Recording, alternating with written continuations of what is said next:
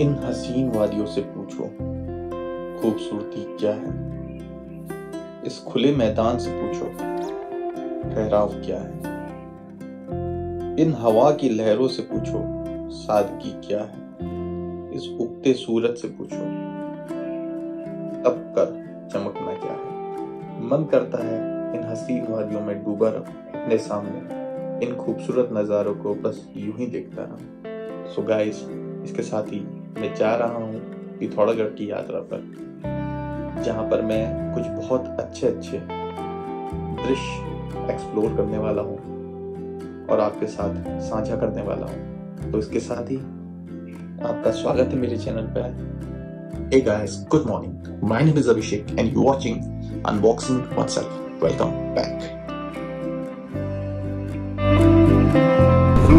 सफ़र ये मौसम हसी हमें डर है हम खो न जाए कहीं भैया भैया मेरे को पीछे दिखा है कुछ। तो रॉन्ग साइड जा रहा हूँ थोड़ा मैं, देखने के लिए। भाई, क्या खतरनाक एक्सीडेंट हुआ यार इसका। रॉन्ग साइड आई थी? अच्छा कब हुआ इसका एक्सीडेंट कल ही हुआ है? बचे पैसेंजर नहीं बचे? पाँच छह लोग मर गए। ओहो। ते टकराई किससे? ट्रक से? ट्रक का क्या हुआ? ट्रक भी आगे खड़ा है? स्कूल के बच्चे थे? अच्छा घूमने गए होंगे वहाँ, स्कूल के टूर में गए होंगे। है। अच्छा। लोग फिर भी रॉन्ग साइड ही आ रहे हैं। हाँ भाई इतना गंदा एक्सीडेंट हुआ है। आग भी पकड़ा होगा उसमें। पूरा डीजल बिखरा पड़ा है वहाँ पर। और बेचारे बच्चे नारक पत्ता गए थे घूमने के लिए। स्कूल के बच्चे थे। पाँच छः लोग मर गए बता रहे हैं। तो मतलब आप समझ ही लो माँ बाप ने क्या सोच के भेजा होगा? लास्ट में बेचारों का एक्सीडेंट हो गया, बच्चे वापस ही नहीं आए। स्पीड भी अच्छी खासी होती है और इसी साइड से आते हैं। ये जो सफ़ेद लाइन है, उसके तरफ़ से, उस पार से अगर आओगे तो ज़्यादा बेटर है ना। जितना ये एरिया यहाँ पर बसता है नॉर्मली ये देखो, ये सफ़ेद लाइन दिख रही ना? ये पार्किंग की लाइन होती है। इसके इधर आप गाड़ी रोक भी सकते हो। कितने दूर होगा टनकपुर यहाँ से? टनकपुर यहाँ से बैठेगा अपना कम से कम चालीस किलोमीटर। चालीस किलोमीटर ठीक है थैंक यू मेरे को लग ही रहा था मैं गलत आ गया करके ये यूपी की तरफ़ जाता है कहीं तो सो गाइज़ आ गया है नानक पत्ता और ये रहा नानक सागर तो अपना विचार ये है कि इसके किनारे ब्रेकफास्ट किया जाए। वाह यार बड़ा अच्छा सुंदर नज़ारा लग रहा है।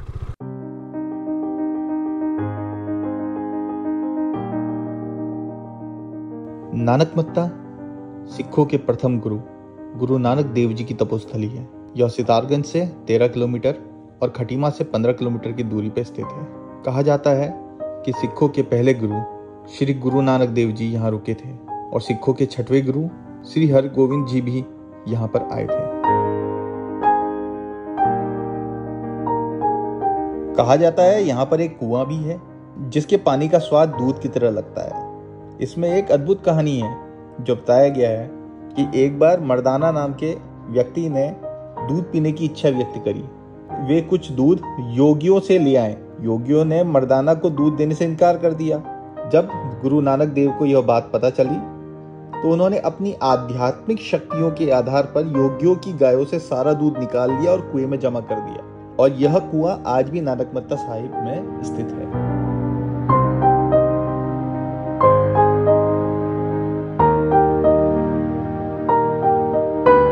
सो गैस आ गया हूँ मैं नानक मत्ता में। ये है नानक सागर। यहाँ पर खड़ी है अपनी बाइक। फुली लोडेड यहाँ पर रुका हूँ मैं। यहाँ पर से लेते हैं पकौड़ी। भाई कौन कौन सी पकौड़ी है अपने पास? मेरे पास ब्रेड पकौड़ा है। हाँ। आलू प्याज पालक का है। बेसन की टिक्की है। गोभी के है। मोटी मिर्च है। छोटी मिर्च है। एक काम करो एक पालक की बना दो और एक ब्रेड पकौड़ा बना दो और चाय बना दो। यहाँ पर भी कोई भाई साहब लोग आए हैं। पूछ रहे आप कहाँ से हैं भाई साहब? दिनेशपुर यहाँ घूमने के लिए आए थे? घूमने के लिए गए थे रामनगर अच्छा रामनगर इस रास्ते गए होगे? हाँ समुद्र के घर रामनगर ये उत्तराखंड वाला या फिर दूसरा यूपी वाला? यूपी वाला। यूपी में भी है रामनगर सही कर ये भाई भाई साहब दिखा रहे हैं नेपाली नोट। नेपाल गए थे नेपाल राष्ट्र बैंक। बीस रु- बीस रुपया।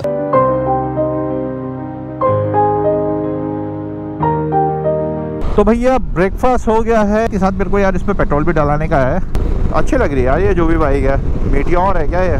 हाँ वी है वी बजाज की है। नहीं रॉयल एनफील्ड की है यार। सो अपने को अभी तक दो टोल मिल गए हैं। जब हम रुद्रपुर से खटीमा की तरफ़ जाते हैं या फिर टनकपुर की तरफ़ जाते हैं तो दो टोल मिलते हैं। अपने को खटीमा नहीं जाना, अपने को सीधे टनकपुर ही जाना है तो हम सीधे वाला रास्ता पकड़ेंगे खटीमा की तरफ़ नहीं जाएँगे। बट ऐसा लगता है ये बाद में बना है, पर बंद ही हो गया है यार ये तो। ये बोर्ड तो डाल दिया बट बंद है अभी ये। अब ये रोड कंप्लीट हुआ नहीं है, या फिर जो भी हुआ आई डोंट नो तो खटीमा की तरफ़ जाना ही पड़ेगा बट बाद में ये बाईपास हो जाया करेगा। खटीमा शहर आपको नहीं पड़ेगा। वैसे खटीमा शहर जब भी पड़ता है यार, यहाँ बहुत ट्रैफ़िक होता है। वाह यार, ये बहुत सुंदर बनाया है वॉल पे इन्होंने डिज़ाइन ड्राइंग वगैरह जो भी किया हुआ है। बहुत सुंदर किया हुआ है।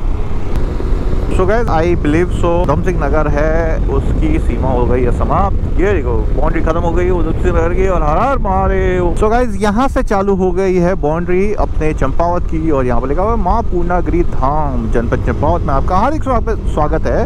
तो जय माँ पूर्णागिरी की। तो माता पूर्णागिरी के मंदिर जाने का जो भी एक ब्लॉग है, वो मैंने पहले बनाया हुआ है, वो ब्लॉग अगर आप देखना चाहते हो, मैं आपको आई बटन में शेयर कर दूँगा और डिस्क्रिप्शन में भी उसका लिंक दे दूँगा, आप देख सकते हो। बहुत ही भव्य मंदिर है भाई बहुत शानदार वो यात्रा रही थी मेरी। के साथ ये आ गया है बनबसा बनबसा से हम जाएँगे जरा नेपाल के बॉर्डर की तरफ़ जाते हैं। नेपाल जाऊँगा तो नहीं आज। सो गैस बनबसा जो है ये आता है आपके चंपावत डिस्ट्रिक्ट में जहाँ से नेपाल के गड्ढा चौकी नाम की जो जगह है वहाँ की दूरी सिर्फ़ चार किलोमीटर की है। और ये बोला जा सकता है नेपाल और इंडिया का बॉर्डर भी। आगे से कोई गेट बना वो रहा भाई साहब नेपाल वाला गेट मिल गया मिल गया। मुझे साजन के घर जाना है। ये रोड थोड़ी सुधर गई है भाई। पहले तो बहुत गड्ढा युक्त होती थी, गड्ढा बुद्ध गड्ढा मुक्त हो गई क्या ये? तो रास्ता तो अभी ख़राब ही है भाई इधर को। कोई खास सुधार नहीं है। सो so गाइज़ ये है बनबसा की मार्केट देखो। बिल्कुल पुराने टाइम की यार, पहाड़ों की याद दिलाती है। बिल्कुल नेपाल के पास में है। नेपाल से लोग आते हैं, यहाँ से सामान लेते हैं। तो जो चीज़ें नेपाल में बनती हैं, वो यहाँ बेचने के लिए भी आते हैं। देखो, नेपाल से आ रहे हैं। टोपी से पता चल जाता है, वहाँ कुछ इस तरीके की टोपी पहनी जाती है। और थोड़ा बहुत शक्ल से भी पता चल जाता है। मुश्किल से यहाँ से आप तीन चार किलोमीटर रह गया होगा। ये है तुम्हारा टमक, टनकपुर पावर स्टेशन और इधर को सीधे आगे शारदा बैराज है। ये जो पार्ट है, जो अपने तरफ़ दिख रहा है, ये इंडिया का पार्ट है। और आगे एक पुल और पड़ता है, वहाँ को पार करने के बाद नेपाल आता है। हम पुल पार करके जाने वाले तो नहीं है बट इसको थोड़ा मैं आगे जाके दिखाता हूँ आपको। यह है शारदा नदी। और इसको शारदा बैराज बोलते हैं भाई। सामने जो पुल दिख रहा है ना ये दिस इज़ शारदा बैराज। यहाँ पर खाने पीने की दुकानें भी हैं। One can come and have some clicks and have some food and go यहाँ पर ये जो दिख रहे हैं, ये इधर को आने वाले ऑटो हैं। एंटी ह्यूमन ट्रैफिकिंग यूनिट है। यह है शारदा बैराज। इसको पार करके ये जो पुल आता है, ये पुल पार करने के बाद जो ये सामने सीधा वाला दिख रहा है ना इसको पुल पार करने के बाद नेपाल आ जाता है। और यहाँ पर हमने खड़ी की अपनी बाइक।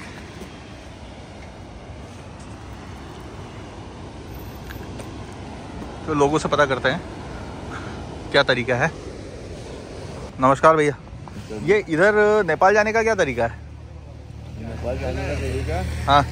आगे वो पड़ेगा गेट। हाँ। वहाँ कटेगी पर्ची आपकी गाड़ी है तो। अच्छा अच्छा। फिर ये गेट खुलेगा आपका दस बजे। दस बजे। हाँ। बारह बजे बंद वो हो जाएगा। हाँ हाँ हाँ। फिर खुलेगा आपका दो बजे। हाँ हाँ। चार बजे बंद हो जाएगा। हाँ हाँ। फिर शाम को छः बजे खुलेगा सात बजे बंद। अच्छा। तो फिर वहाँ पर भी पर्ची कटती ना? भंसार बनता है ना शायद वहाँ? हाँ। एक किलोमीटर आगे एच पड़ेगी। हाँ।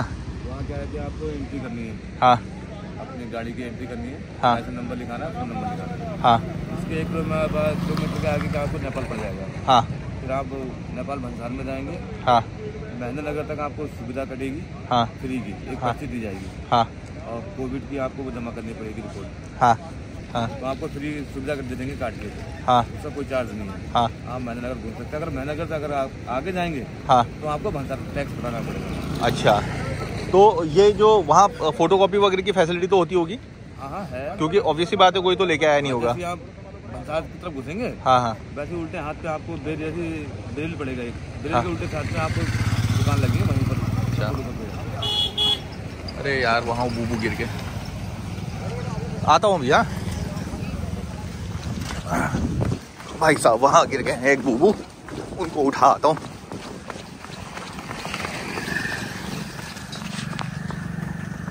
पाँव फंस गया क्या?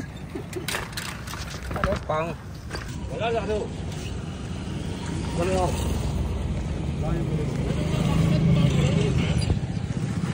बूबू गिर गए थे उनको उठाया। आते हैं। तो भाई बता रहे हैं जाने दे रहे हैं कोई दिक्कत नहीं है बट कुछ कहा नहीं जा सकता। कोई भरोसा नहीं है कब कहाँ पर क्या हो जाए।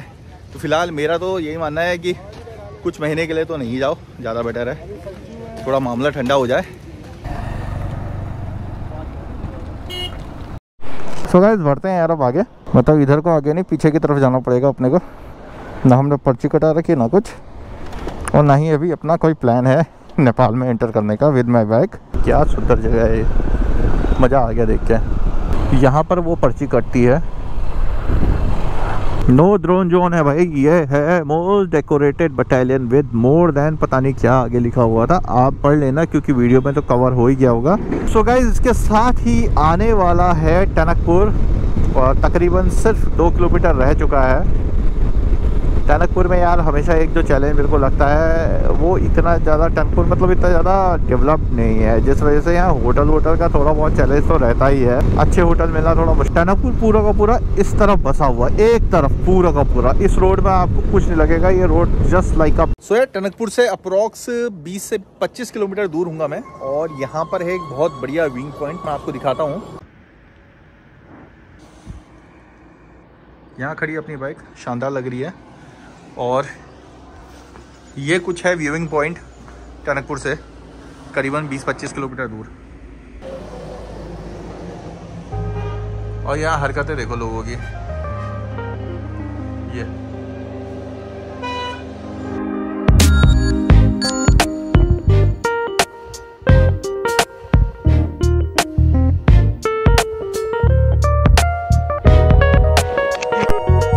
तो गाइस एक स्मॉल सा ब्रेक लेने के बाद बढ़िया हूँ मैं आगे। इधर पे जो है नेटवर्क जो है वो सामने नेपाल का पकड़ जा रहा है। और यहाँ पर मतलब अपना जियो एयरटेल उतना अच्छा नहीं चल रहा है पता नहीं क्या बात है। ये पूरा बड़ा पुल बनने वाला है भाई। अब लेट्स सी कब तक बनता है। पूरा रास्ता धस गया है। भैया खाने में क्या क्या है? पराठे दाल चावल। और पहाड़ी कुछ बनाया क्या?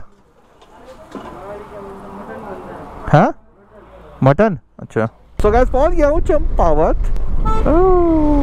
खतरनाक चला रहा है एक बंदा गाड़ी। का रह गया यहाँ से छिहत्तर, धारचूला एक सौ पिछहत्तर, लोहाघाट सोलह, चंपावत तीन किलोमीटर। ये एरिया मेरे बहुत प्यारा लगता है। पेड़ों से ऐसा घिरा हुआ ना।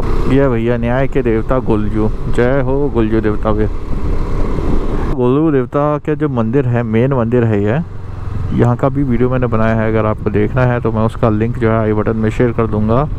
और डिस्क्रिप्शन में भी आपको शेयर कर दूँगा आप देख सकते हैं। ये रोड रोलर को क्या हो गया? टायर पंचर हो गया इसका।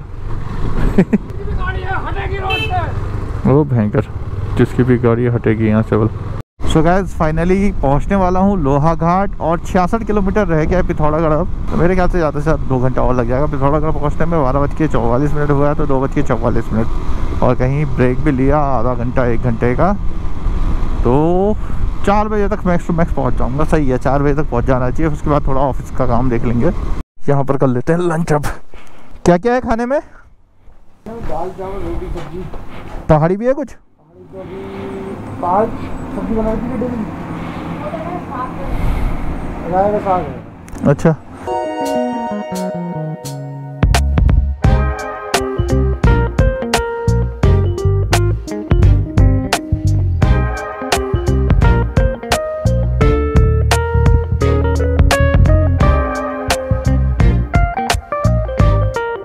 तो ये रास्ता कैफ़े में रुका हूँ मैं, लंच के लिए। लंच करते हैं, फिर बढ़ते हैं आगे। अभी तक तो राइड बड़ी मस्त चल रही है मज़ा आ रहा है। आपका है? अच्छा। आजा आजा। भग रहा अरे यहाँ तो पिल्ले भी और के बहुत सारे। ये भी नहीं खा पाएँगे? अच्छा रैबिट भी है? कहा है?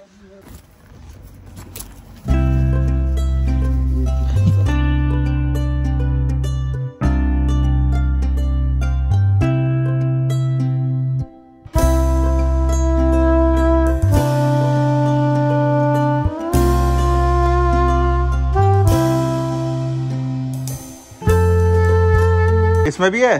सब आराम से रहते हैं। इसमें क्या है? कम। अरे बाप रे। कम।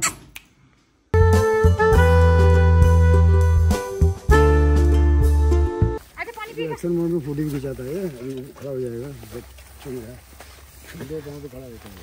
तो भाई ये बकरा इसका नाम है सिखंडी। अरे काटता भी है। मलबा हटा रहे भाई यहाँ पर से। अब अप्रॉक्स 40 किलोमीटर रह गया बस। ज़्यादा नहीं रह गया। वहाँ से ट्रक आ गया दंदन आते हुए। एक काम तो मैं कर ही सकता हूँ, चाहूँ तो। एक एक उसको चम्मच भरने में लग रहा टाइम ये। अब वैसे उसको अगली चम्मच भरने में भी टाइम लगेगा। हम निकाल लेते हैं।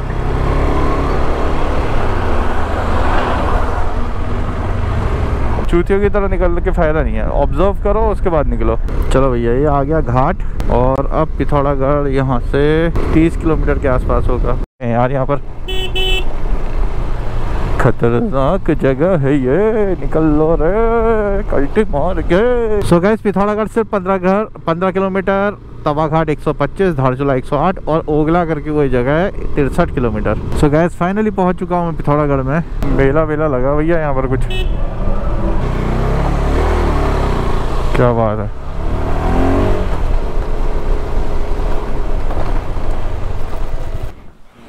नमस्कार। रूम्स अवेलेबल है? बारह सौ पचास से स्टार्ट बहुत बढ़िया बना रखा है यार इन्होंने। साढ़े बारह सौ वाला।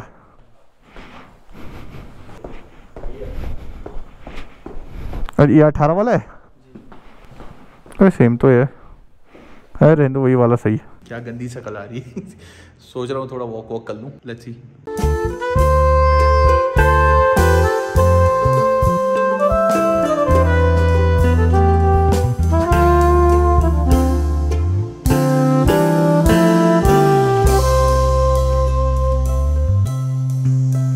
बस अब क्या शानदार व्यू है यार, पिथौरागढ़ के यहाँ से। मज़ा आ गया देख के।